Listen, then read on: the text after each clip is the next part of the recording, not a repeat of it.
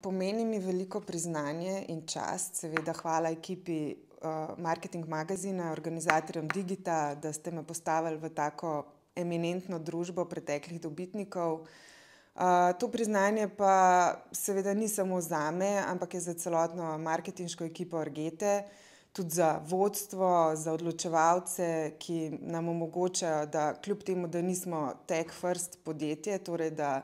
um, delamo na področju razvoja, prodaje, distribucije produktov, uh, izdelkov, torej v našem primeru Argete,